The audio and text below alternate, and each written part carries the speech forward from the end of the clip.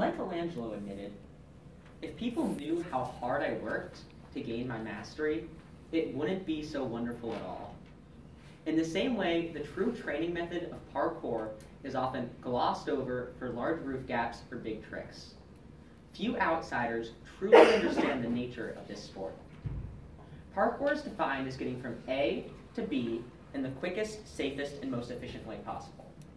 For the past two years, I've trained at Fighter Flight Academy under Chad Swadlow, the head instructor of American Parkour and a longtime member of the Tribe, a professional performance team.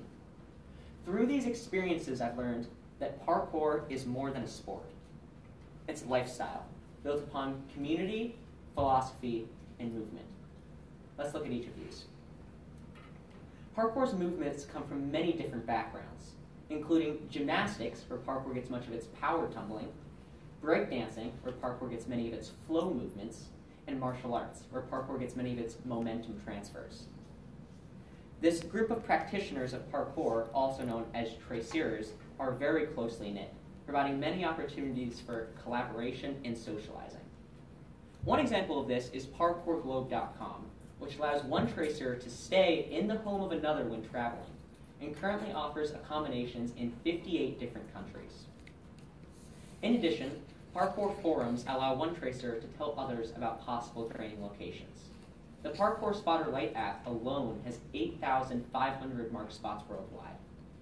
Finally, parkour meetups provide a great opportunity to meet and train with other tracers. Another important aspect of parkour is its philosophies. Raymond Belle was a French national born in Vietnam in 1939. He later became part of the elite French military firefighters, and he believed there should never be anyone in a burning building that you could not get to to save their life. And he developed the basic movements of parkour to accomplish this. Which brings us to the first philosophy. Parkour is not simply about A to B, but about getting one from any point to any point, and the self-progression that comes from doing so. I've seen this in my own life as well. When I first started training parkour, like any beginner, there was very little I could actually do. But I quickly adopted this mentality of setting goals and training to overcome them, even starting a log where I would write down goals and cross them off as I went. It wasn't until later that I realized I could apply this to other areas of my life. I used it to improve my other sports like basketball, tennis, and my martial arts training. And then I took it even further. I realized I could use it on academics. I used it to help improve my study habits, my test taking skills, and my overall focus. Finally, I realized I could use it on me as a person, to be more kind, to be more patient, to be a stronger Christian. The next of parkour's philosophies comes from when Raymond Belle taught the movements he had made to his son, David Belle, who then taught the movements to his friends, later to be known as the Yamakasi, the first true parkour group.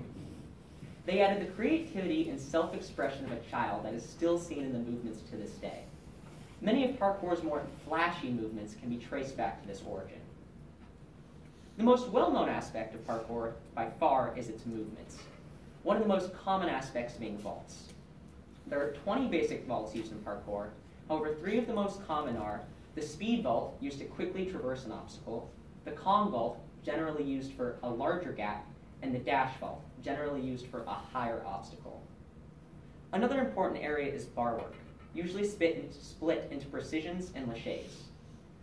A precision has the athlete traversing across the top of the bars using their feet whereas a lache has the athlete traversing beneath using their hands.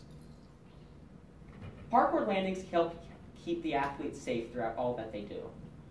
Many people think landings are about being tough or overcoming the pain of a big impact. However, this is simply not the case. Fight Science analyzed Ryan Doyle, a top parkour athlete, as he took a 14-foot drop with a front flip. The impact he experienced was the same as you would experience doing a jumping jack. Finally, although more flashy than practical, parkour uses three basic flips. The front flip, the most difficult of the three basic flips, is also seen in many other tumbling disciplines. The back flip, which is the easiest of the three flips, is also used by other tumblers.